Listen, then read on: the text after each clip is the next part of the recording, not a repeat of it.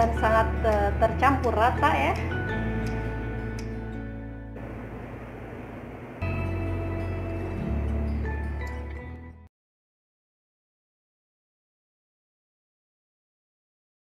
Marhaban, Assalamualaikum warahmatullahi wabarakatuh. Apa kabar semuanya? Sahabat-sahabatku di mana pun berada Tetap dalam keadaan sehat ya Dan selalu semangat ya untuk bekerja Dan di sini saya akan membuat sesuatu seperti biasa ya Teman-teman. Jangan pernah bosan melihat video saya Yang bosan diabaikan saja. Dan yang baru gabung silahkan di subscribe dan yang sudah subscribe saya ucapkan banyak-banyak terima kasih. Semoga anda dimudahkan rezekinya dan juga sukses ya.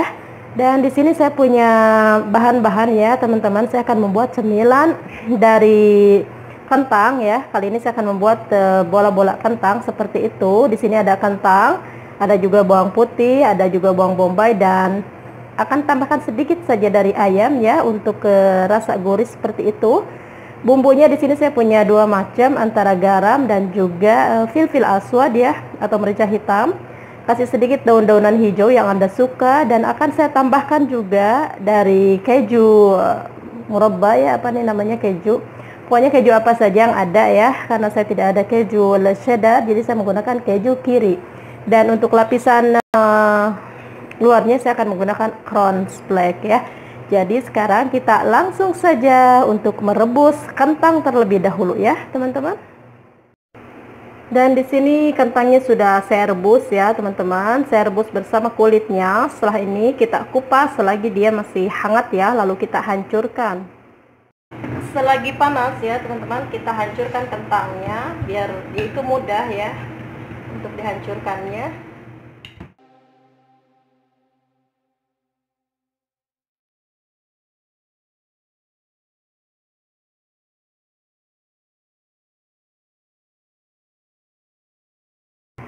dan saya akan menggiling ayam terlebih dahulu ya teman-teman dan juga akan dicampur dengan uh, bawang merah ya bawang putih dan juga daun hijau-hijauan. Kita giling sampai mereka itu halus. Setelah itu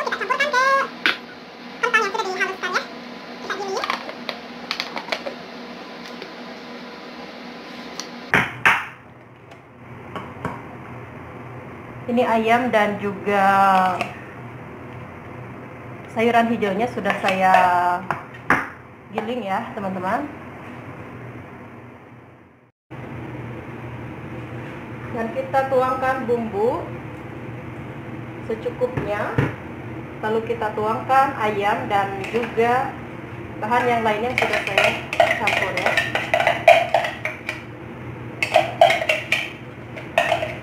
Cemilan ini nanti akan saya goreng atau juga bisa disimpan di oven ya atau furon. Atau juga bisa digoreng di alat yang seperti biasa saya gunakan lalu saya akan menambahkan beberapa potongan dari keju keju kiri ya. Saya akan menggunakan mungkin tiga ya tiga saja cukup karena ini udah ada ayamnya.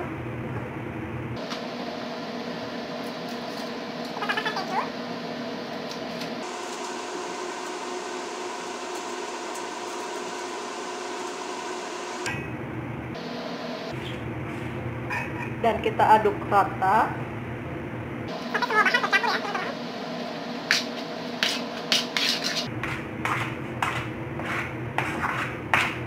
untuk bumbunya sesuai selera Anda bisa menambahkan penyedap rasa masako atau apa saja yang Anda suka ya.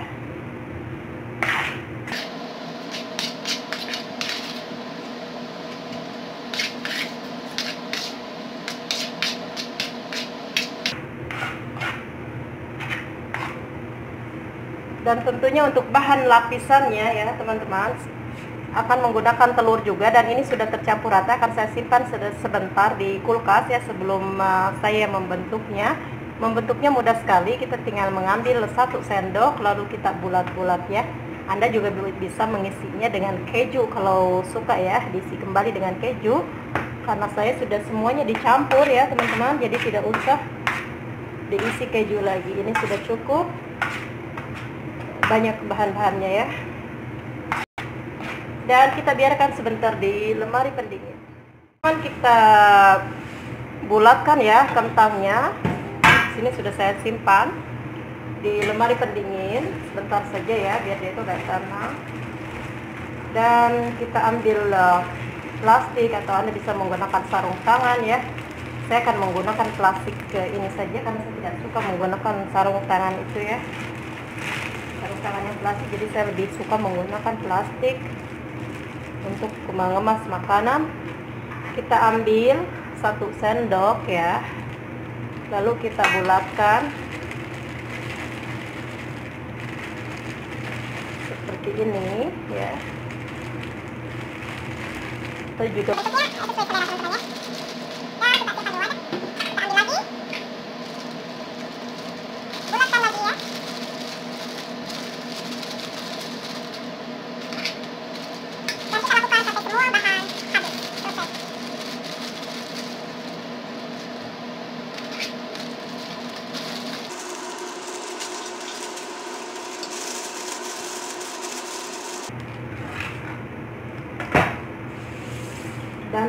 uh, kentangnya sudah selesai teman-teman ya.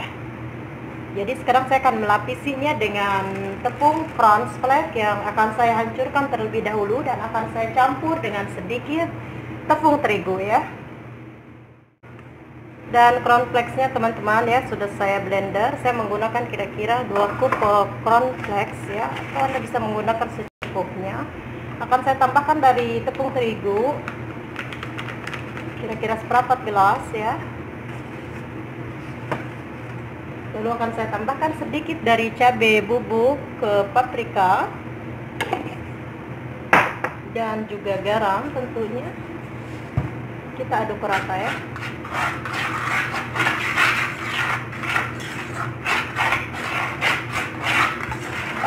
ini untuk bahan uh, lapisannya sudah saya buat ya. Teman-teman bisa melapisinya langsung dengan tepung uh, panir ya. Kalau saya tidak punya tepung panir jadi saya membuat uh, tepung cornflakes. Dan di sini saya punya satu butir telur.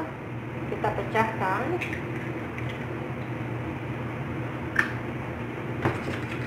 Akan saya tambah sedikit dari air dingin ya biar mudah untuk untuk diaduk nih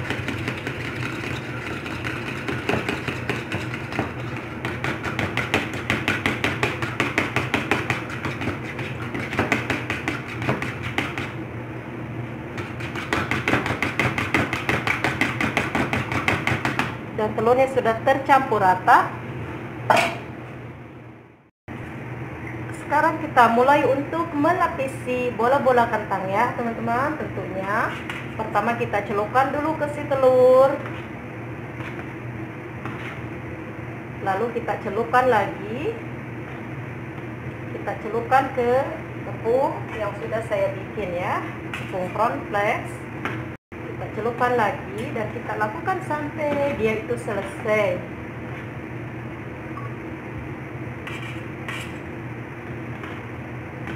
cemilan yang enak tentunya padat ya ini dan sangat cocok sekali ya untuk di musim dingin.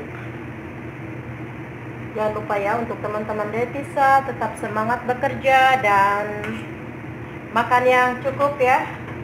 Makan yang sehat sederhana tetapi sangat membuat kita itu semangat untuk bekerja ya teman-teman. Karena cuaca sangat dingin sekali jadi kita harus eh, menjaga kesehatan dan jangan lupa ya yaitu makan.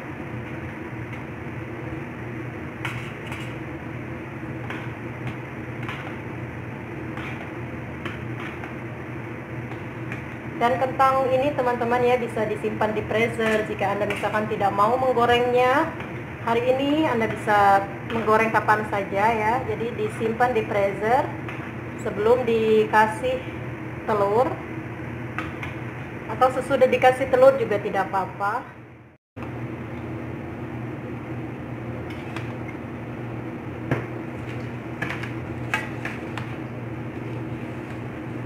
Dan bulatannya sudah saya celupkan ke semua uh, apa?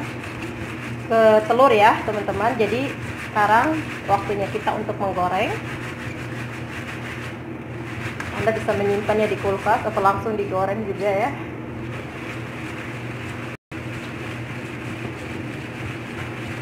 Sangat mudah sekali ya teman-teman untuk melapisinya. Saya menggunakan wadah seperti ini ya biar mudah untuk melakukannya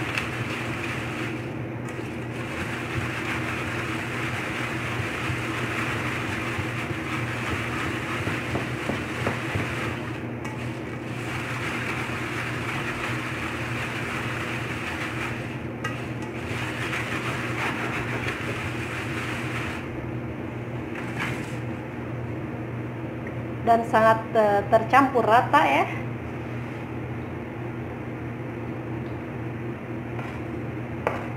Kita pindahkan ke wadah lain atau langsung juga tidak apa-apa. Saya perlihatkan kepada teman-teman bahwa tepung panirnya sangat atau tepung cornflakesnya ya sangat uh, nyerit sekali. Jadi ini bisa disimpan di freezer sisanya ataupun di kulkas ya bisa dipakai sewaktu-waktu kita dibutuhkan lagi. Yang sisa ini tidak akan saya buang ya teman-teman. Daripada mubazir nanti kita uh, bikin apa saja ya yang kita perlukan dan waktunya untuk menggoreng. Waktunya untuk menggoreng ya teman-teman. Di sini saya sudah punya minyak yang sudah saya panaskan ya tapi dia tidak begitu panas tentunya dan kita coba untuk uh, mencemplungkannya. Kita ambil sesuatu biar tidak panas kita coba ya. Bismillah. Dan dia itu jangan terlalu minyaknya jangan terlalu panas ya teman-teman. Jadi goreng di atas api yang sedang saja seperti biasa saya suka banget menggoreng dengan menggunakan panci kecil ya. Biar minyaknya itu kelihatan penuh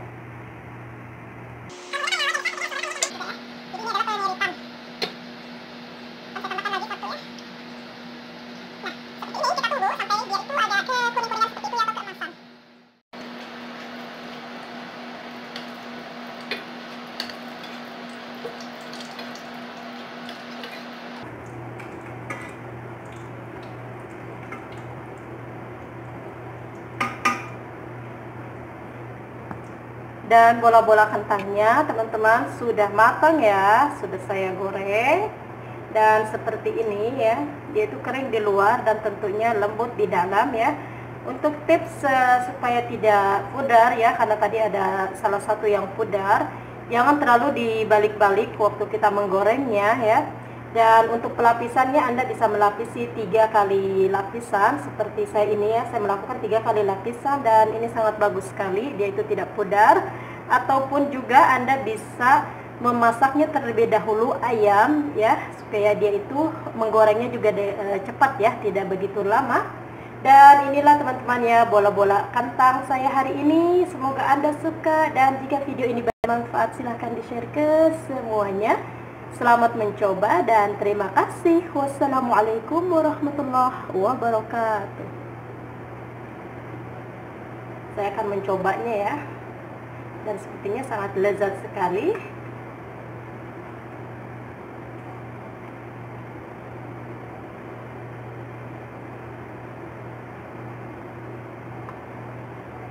Kering di dalam, ah, maksud saya kering di luar ya dan lembutnya mie di dalam dan ini ayamnya matang teman-teman ya.